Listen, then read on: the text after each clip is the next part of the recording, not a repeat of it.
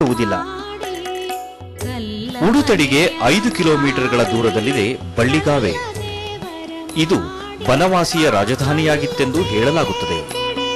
ಬಸವ ಕಲ್ಯಾಣದ ಅನುಭವ ಮಂಟಪದ ಶೂನ್ಯ ಸಿಂಹಾಸನಾಧಿಪತಿಯಾದ ಅಲ್ಲಮ ಪ್ರಭು ಜನಿಸಿದ ನಾಡು ಈ ಬಳ್ಳಿಗಾವೆ. ಇಲ್ಲಿನ ದಕ್ಷಿಣ ಕೇದಾರೇಶ್ವರ ದೇವಸ್ಥಾನ, ಕದಂಬರ ಆಳ್ವಿಕೆಯ ಕಾಲದ ಶಾಸನಗಳು, ಮಾಸ್ತಿ ಕಲ್ಲುಗಳು ಗರುಡಗಂಬಗಳು ಹತ್ತನೆಯ ಶತಮಾನಕ್ಕೆ ನಮ್ಮನ್ನು ಕರೆದೊಯ್ಯುತ್ತವೆ. ಬಳ್ಳಿಗಾವಿಯಲ್ಲಿ ಹಿಂದೆ ಐವತ್ನಾಲ್ಕು ದೇವಸ್ಥಾನಗಳು ಇದ್ದವೆಂದು ಹೇಳುತ್ತಾರೆ. ಈಗ ಹನ್ನೆರಡು ದೇವಸ್ಥಾನಗಳಿವೆ.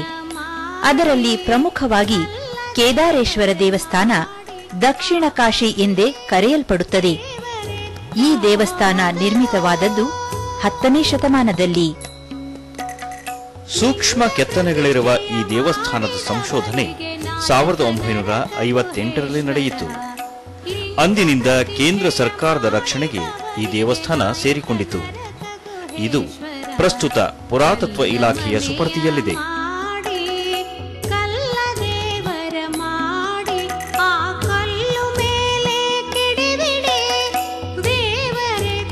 ಇದಕ್ಕೆ ಹೊಂದಿಕೊಂಡಿರುವಂತೆ ಅಲ್ಲಮ ಪ್ರಭುಗಳ ಜನ್ಮಸ್ಥಳದ ನೆನಪಿಗಾಗಿ ನಿರ್ಮಿಸಿದ ಬಲಗಡಿಯ ಈ ಪೀಠವು ಅದೆಂತ ಅನುಭಾವದ ಲೋಕಕ್ಕೆ ನಮ್ಮನ್ನು ಕರೆದೊಯ್ಯುತ್ತವೆ? ಗುಹೇಶ್ವರ. ಬಳ್ಳಿಗಾವಿ ಇದು ಅಲ್ಲಮಹಾಪ್ರಭು ಜನ್ಮಸ್ಥಳ ಬಳ್ಳಿಗಾವಿ.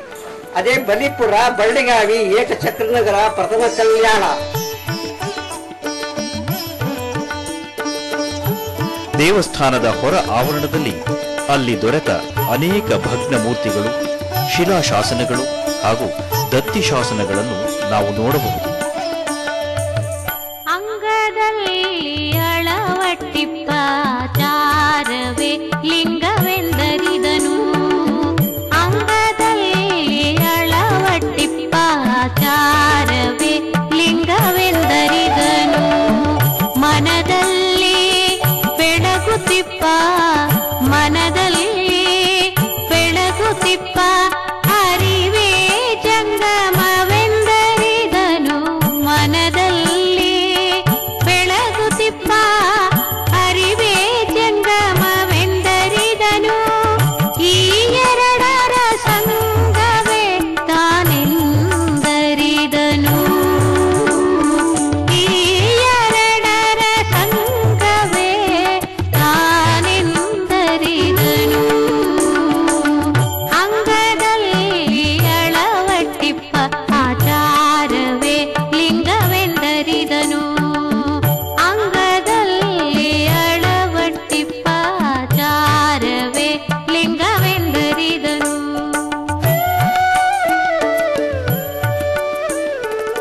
ಬಳ್ಳಿಗಾವೆಯ ಇನ್ನೊಂದು ಪ್ರಮುಖ ದೇವಸ್ಥಾನ, ತ್ರಿಪುರಾಂತಕೇಶ್ವರ ದೇವಸ್ಥಾನ.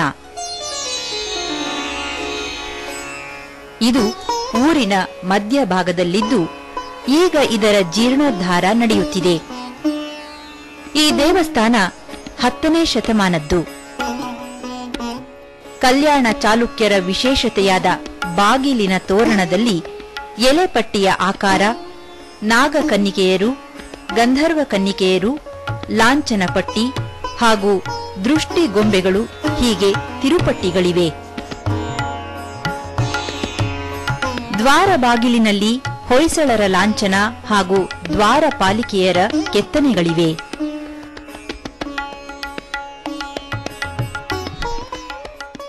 ಬಿಟ್ಟಿದೇವ, ಆ ಶಾಂತಲೆಯ ನೃತ್ಯಕ್ಕೆ ಮಾರು ಹೋಗಿ ಆಕೆಯನ್ನೇ ವರಿಸಿ, ಆದಳು ಆ ನಾಟ್ಯರಾಣಿ. ಪಟ್ಟದರಸಿ ತನ್ನ ಕಲಾಭಾವಕ್ಕೆ ಶಿಲ್ಪದ ರೂಪ ಶಿಲೆಯಲ್ಲಿ ಕಲೆಯನ್ನು ಅರಳಿಸಿದ ಕೀರ್ತಿಗೆ ಕಾರಣಳಾದ ಶಾಂತಳೆಯ ಸ್ಫೂರ್ತಿಯೇ ಬೇಲೂರು ಹಳೇಬೀಡಿನ ನೃತ್ಯ ದೇಗುಲಕ್ಕೆ ಕಾರಣವಾಯಿತು.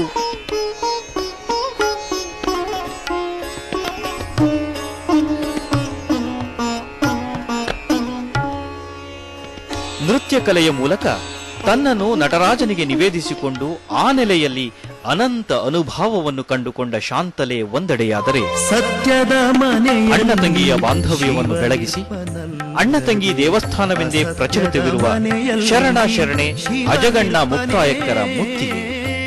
ಮುತ್ತಿಗೆಯು ಶಿವಾನುಭವಿ ಶರಣ ಅಜಗಣ್ಣ ಮತ್ತು ಶರಣೆ ಮುಕ್ತಾಯಕ್ಕರ ಊರು. ಶರಣ ಅಜಗಣ್ಣ ಒಬ್ಬ ಮಹಾಜ್ಞಾನಿಯಾಗಿದ್ದ. ಮುಕ್ತಾಯಕ್ಕ ತನ್ನ ಅಣ್ಣನನ್ನು ಕಳೆದುಕೊಂಡ ಶೋಕದಲ್ಲೂ ಪ್ರಜ್ಞೆಯನ್ನು ಕಳೆದುಕೊಳ್ಳದೆ ಅಲ್ಲಮರನ್ನು ವಾದಕ್ಕೆಳೆದ ಪ್ರಜ್ಞಾವಂತ ಮಹಿಳೆ.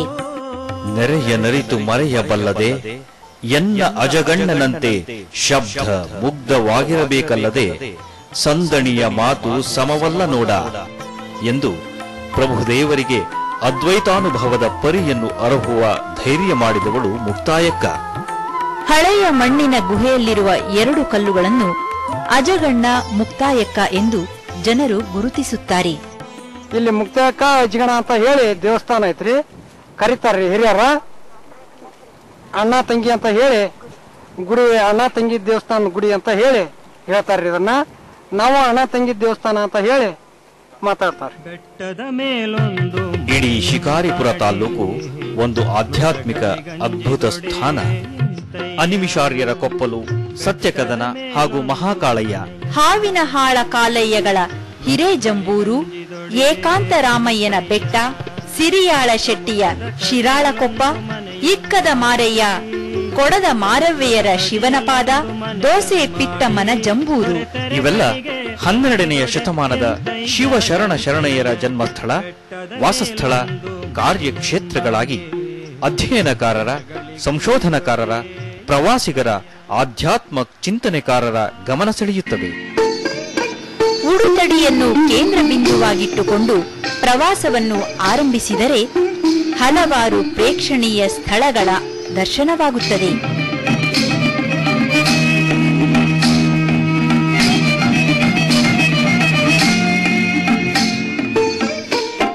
ಉಡುತಡಿಗೆ ಹೋಗುವುದು ಹೇಗೆ?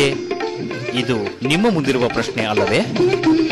ಶಿವಮೊಗ್ಗದಿಂದ ರಸ್ತೆ ಮಾರ್ಗವಾಗಿ ಎಪ್ಪತ್ತು ಕಿಲೋಮೀಟರ್ ದೂರದಲ್ಲಿರುವ ಶಿಕಾರಿಪುರ, ಇಲ್ಲಿಂದ ಹದಿನೆಂಟು ಕಿಲೋಮೀಟರ್ ಹತ್ತಿರದಲ್ಲಿ ಶಿರಾಳಕೊಪ್ಪ.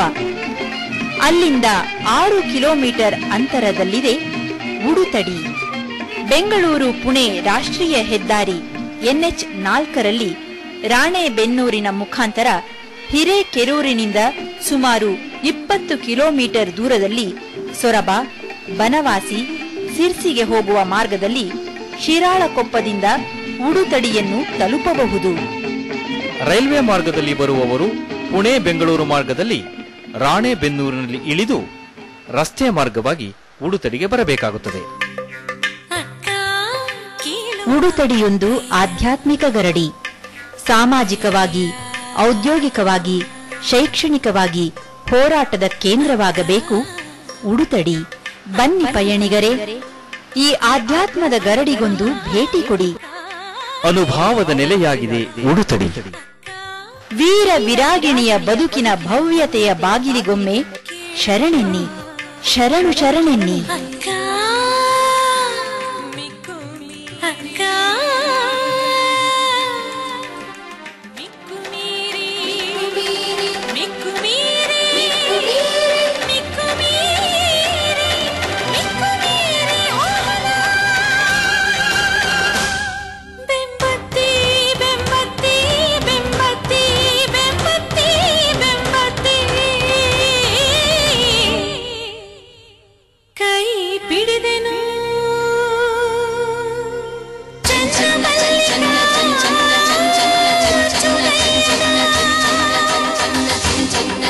ಕಂಡು ಕಂಡೆರೆದೆನು